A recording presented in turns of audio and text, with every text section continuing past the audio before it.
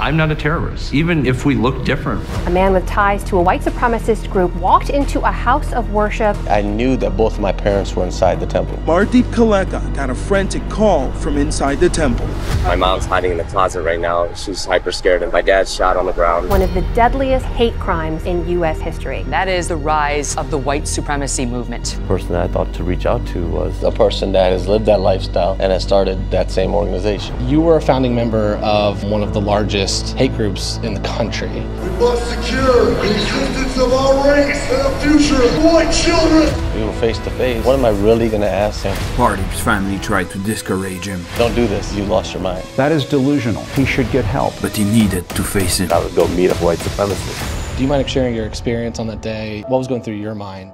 As we were on the freeway and we got closer to the temple, I started to notice squad cars driving by us at a high rate of speed.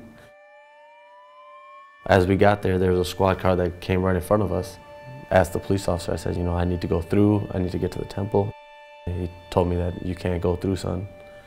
Across the street, there was this little girl, and she had this 100 mile stare, like she had seen something that she wasn't supposed to see.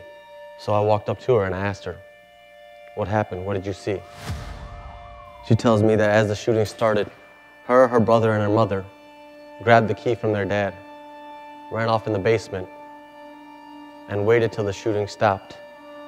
Her and her brother were the two first people to come out. She says that as she walked upstairs, she saw people laying in their own pools of blood. I asked her, Did you see my dad? I saw your dad. He was laying in that same room, laying on the floor. He was saying this word over and over and over again. This word Vaheguru. Vaheguru. Vaheguru. Taking from darkness to light. And at that point, I knew that my dad didn't make it. I got in my car and drove home, and I remember rolling up all the windows and, and really just screaming at the top of my lungs.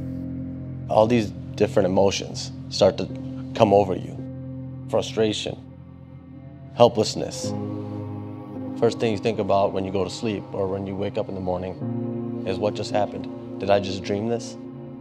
Did this really just happen? Reality was really starting to set in. Dad's not coming home. These children are never going to see their grandfather again. August 5th, 2012, when a white supremacist gunman walked into the Sikh temple of Wisconsin. And as these responding officers are coming to the scene, they engaged in a firefight with Wade Page. And Wade Page takes his own life. Why people do things like this? Why do people do things like this? The shooter was dead, so I couldn't ask the shooter. So the person that I thought to reach out to was a person that has lived that lifestyle and has started that same organization to find out why somebody would do something like this. There was family members who were concerned and they thought that something really was going on with me as far as like PTSD or something had set in where I was kind of delusional that I would go meet a white supremacist. You, you lost your mind. something's going on with you. Don't do this. Maybe they might be right. Maybe something is going on with me. What am I going to say to this person? What do I really want to know? All this other stuff is going on, but now we were face to face. And what am I really going to ask him? The first time that I saw him, to my surprise, he was kind of thinking the same way. I was involved in white supremacist hate groups for seven years. I hated anyone who wasn't a violent white racist. I attacked people with my bare hands because of the color of their skin. And I incited other angry white kids to do worse. Then I became a single parent.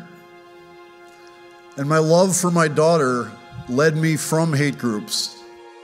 I'll never forget Sunday, August 5th, 2012. I remember a Twitter feed, just the hashtag Sikh Temple shooting, and it's just pouring down my screen. I just had this sinking feeling that, that I had something to do with this, that, that my old ideology had something to do with this. That I was freaked out going to meet him. I'm intimidated. At the time, I was just like, I, I didn't know what to say. Where do I even begin? He was kind of like, what do I say to this person who just lost their father? I'm, I'm you know, I'm sorry. I'm sorry it would seem kind of hollow at, at this point. I helped to start this organization that this guy belonged to, and now I'm sitting here and I'm, I'm facing the consequences of actions that I thought that I put way back there. My dad was Temple president. He was president for 15 years. I mean, his, his dream was basically to make a sanctuary where people could come to.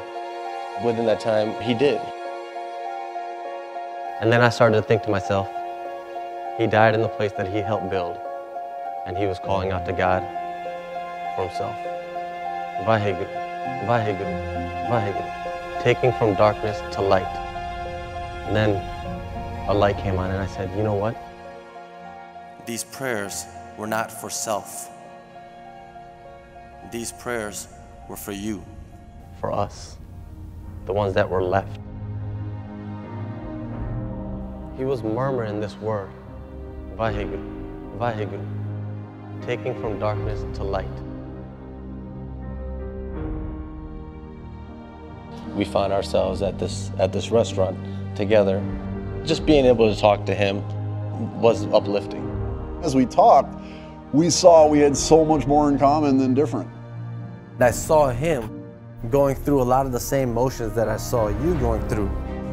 Genuine empathy is the connection. We have to feel each other once again. It would hit us at that point like we need to work together. We got to do something together to basically get this message out to the world. And the more people we can help understand this, the better off we're all going to be. Serve to Unite was born. How do we learn about people and how do we embrace the differences that we all have? Both men are now part of a group committed to compassion and diversity. You guys are a very unlikely pair. Yeah, an odd couple at first. It's a bromance for the ages, actually. we're genuinely friends, we're genuinely brothers. This man comes over to my house, babysits the kids. Everything that Pardeep and I do is really to get human beings to see each other as fellow human beings and see what we have in common and really address the root causes behind hate and violence. Once you see somebody's humanity, it's going to be tough to be violent with that person. Take this inspiration with you back to the communities you belong to. Sow seeds of love in everyone that you see whether they show it back to you or not.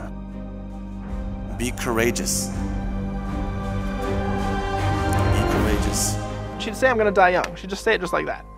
She was very vocal about her premonition. When the shooters approached the school, these were the stairs that they walked up. And when they got to the top of the stairs, that's when they saw Rachel. Through her writings, there's just an element of premonition or prophetic. This was more than about me losing a daughter heard on the radio that something was going on at Columbine High School. During my lunch period, I went to the